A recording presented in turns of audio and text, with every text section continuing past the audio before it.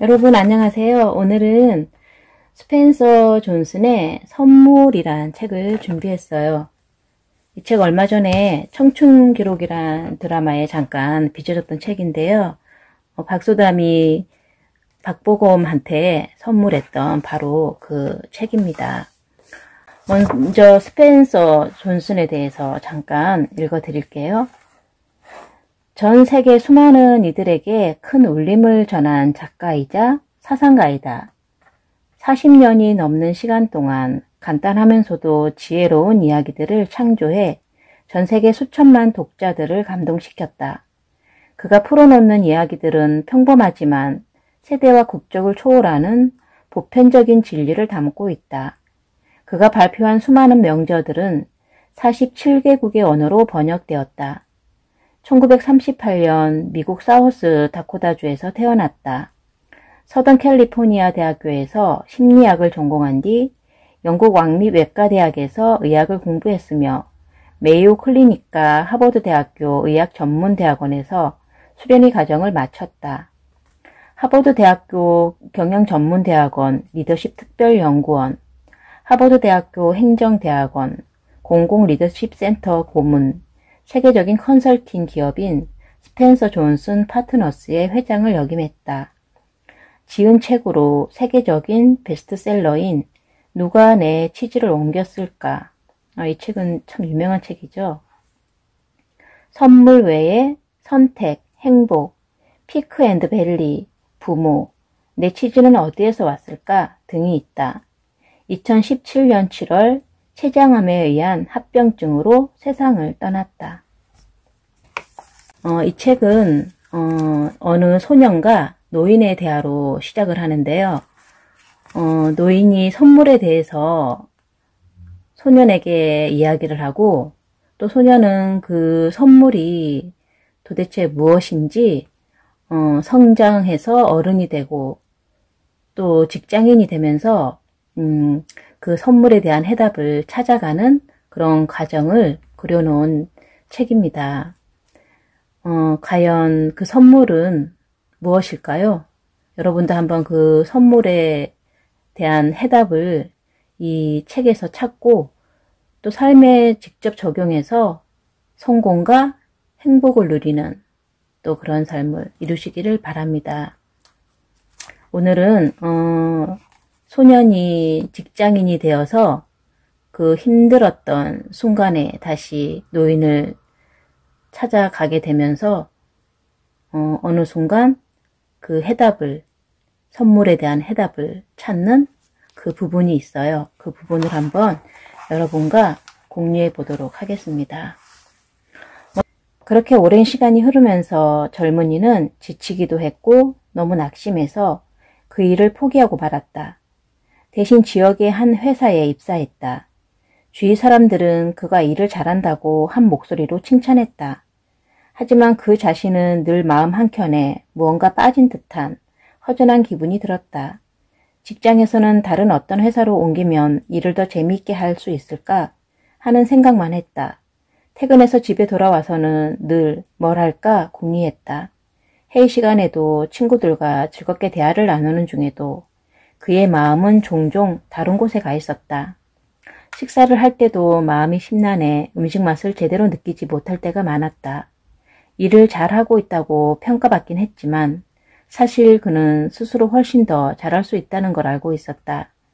솔직히 최선을 다하고 있지 않다는 것을 알면서도 자신의 일이 정말 중요하다는 마음이 생기지 않았다. 얼마 후 젊은이는 자신이 불행해져 버렸다는 사실을 깨달았다. 하루하루 살아가는 것이 힘겨워졌다. 왠지 모르게 모든 일이 어긋나는 것 같았고 업무도 제대로 마무리되지 않았다. 꿈과 목표는 도저히 달성할 수 없을 것 같았다. 자신이 어렸을 때 주위 사람들에게 떠벌려졌던 일들을 하나도 이루지 못하고 있다고 느꼈다. 퇴근 후 집에 돌아오면 점점 더 피곤하고 절망감만 커졌다.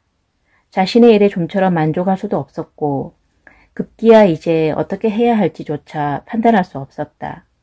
절망에 빠져있던 그때 어린 시절이 불현듯 떠올랐다. 삶이 더 단순하던 시절이었다.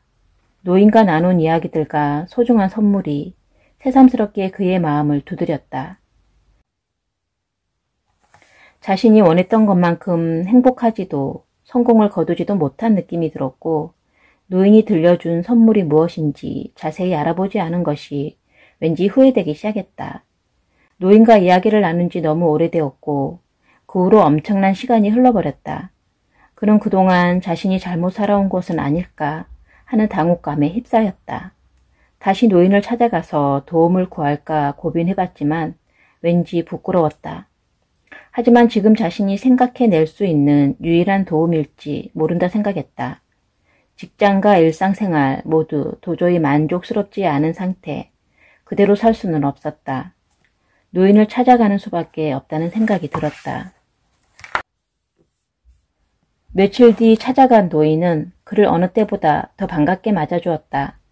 그의 표정에서 세파에 지치고 무너진 마음의 상처를 읽었기 때문이었다.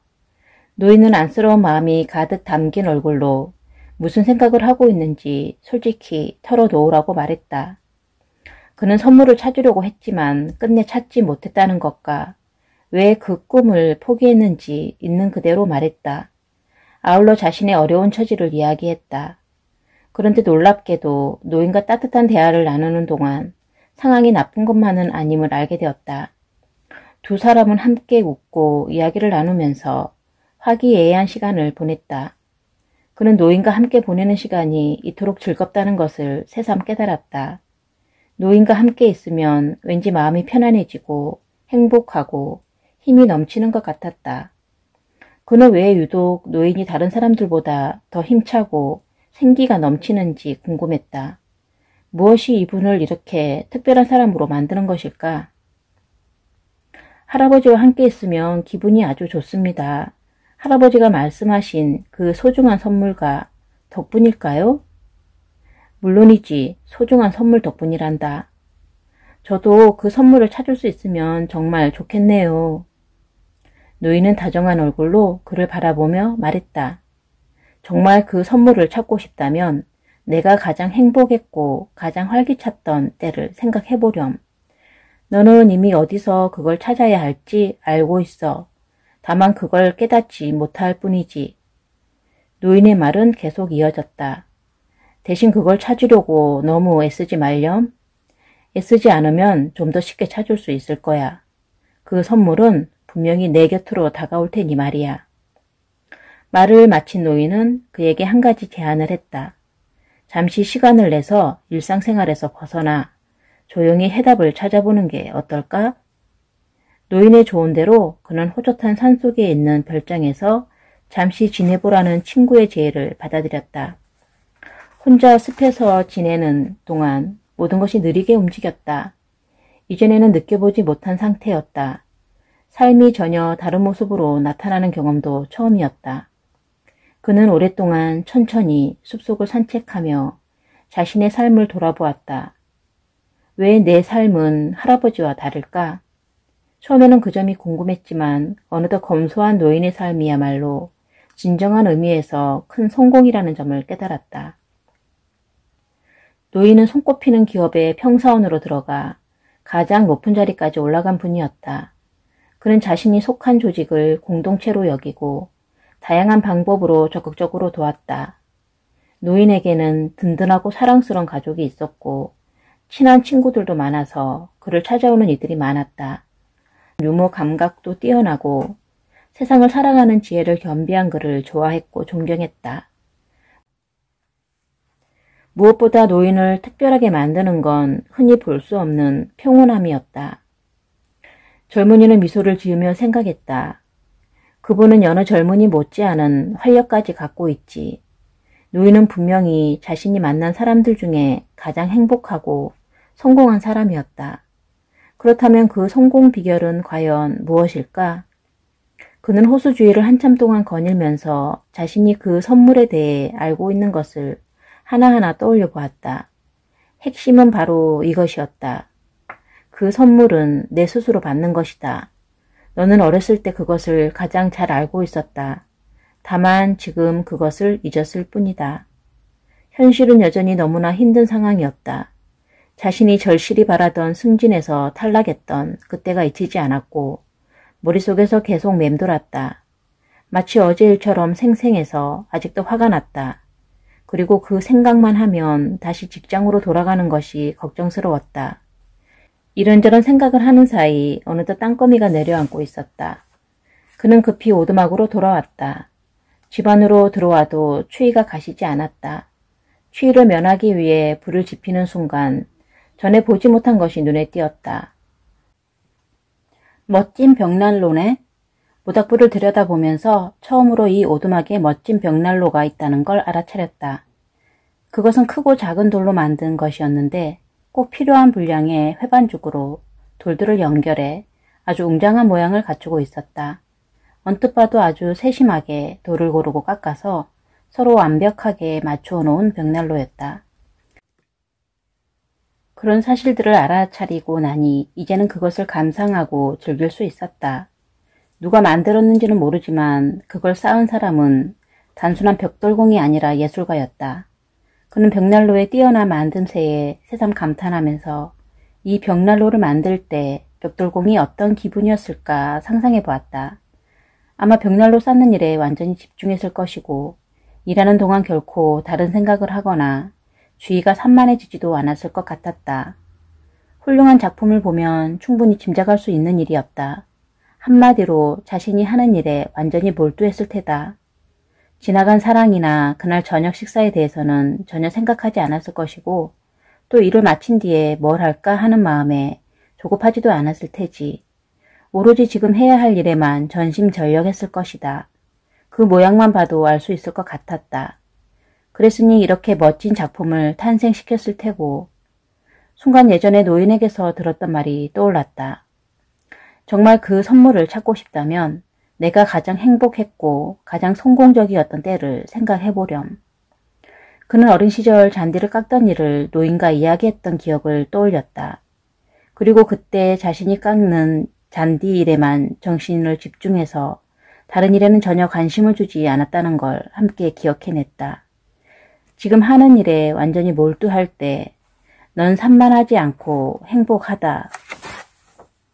노인은 그렇게 말했다. 너는 바로 지금 일어나는 일에만 정신을 집중한다. 그는 자신이 오랫동안 그런 기분을 느끼지 못했다는 걸 깨달았다. 직장에서뿐만 아니라 모든 일에서 그랬다. 쓸데없이 과거에 대한 후회나 미래에 대한 불안에 사로잡히곤 했다. 그는 오두막집 안을 찬찬히 살펴보았다. 그러고는 다시 모닥불을 바라보았다. 그 순간 그는 과거를 생각하지 않았다. 미래에 대한 불안도 잊고 있었다. 그냥 지금 자신이 있는 곳을 그리고 지금 자신이 하는 것을 즐기고 있었다.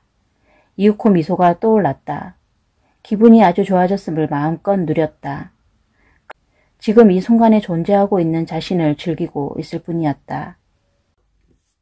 그 순간 갑자기 무언가가 내리를 스쳤다. 그래, 바로 그거구나. 비로소 그는 소중한 선물이 무엇인지 알 수 있었다. 그것은 늘 그곳에 있었던 것이다. 세상에서 가장 소중한 선물은 과거도 아니고 미래도 아니다. 세상에서 가장 소중한 선물은 바로 현재의 순간이다. 세상에서 가장 소중한 선물은 바로 지금이다. 그는 자신이 있는 곳에 나의 현재에 집중했을 때 새로운 깨달음을 얻었다. 오로지 현재 속에서 존재할 때, 그러면서 다른 어느 것도 생각하지 않을 때 새로운 것을 발견할 수 있었다. 그 선물이 정말로 이렇게 간단한 걸까? 인생은 그렇게 간단한 것이 아니다. 삶은 복잡한 것이고 직장에서도 여러 가지 복잡한 상황이 벌어진다. 단지 현재 속에서 산다고 해서 행복과 성공을 느낄 수 있는 걸까? 의심이 들긴 했지만 그래도 짧은 시간이나마 분명 그런 순간 인생이 더 행복해지는 경험을 한 건 틀림없었다. 하지만 완전하게 확신할 수 없었다. 산을 내려가려고 할 쯤 다시 의심이 고개를 들었다. 내가 처한 상황이 이 멋진 오두막집에 있을 때처럼 즐겁지 않을 경우에도 현재라는 선물은 과연 효과가 있을까? 상황이 좋을 때나 나쁠 때는 완전히 다르지 않을까? 과거와 미래는 또 어떤 의미를 찾는 것일까? 그는 노인에게 물어봐야 할 게 너무나도 많다고 생각하면서 노인을 다시 찾아갔다. 그 선물을 찾는 순간 무엇이 옳고 그른지 생각해 봤니? 아니요, 전 그저 경치 좋은 곳에서 조용한 시간을 즐겼을 뿐이었어요. 그러자 노인은 이걸 생각해 보렴 하고 말했다. 아무리 어려운 상황에 처해 있어도 현재, 이 순간, 옳은 것에만 집중하면 우리는 더 행복할 수 있다. 그렇게 하면 활력과 자신감을 얻어 그런 것도 처리할 수 있다. 고통은 대개 현재 상태와 자신이 바라는 상태가 달라서 생겨난단다. 다른 모든 것들처럼 현재의 고통 역시 계속해서 변하기 마련이야. 그저 왔다가 가는 거란다. 완전히 현재 속에 사는데도 고통을 느끼고 그리고 그 때문에 좌절한다면 그때는 무엇이 옳은지부터 생각해보고 그에 따라 행동하면 될 거야. 중요한 건 고통스러운 상황을 겪을 때 그걸 피하려고 자꾸 다른 생각을 하지 않는 거란다. 회피하지 않고 그 고통에서 배움을 얻고자 노력하는 것이지. 현재 속에 존재한다는 것은 잡념을 없앤다는 뜻이다. 그것은 바로 지금 중요한 것에 관심을 쏟는다는 뜻이다. 우리가 무엇에 관심을 쏟는가에 따라 소중한 선물을 받을 수도 있고 받지 못할 수도 있다.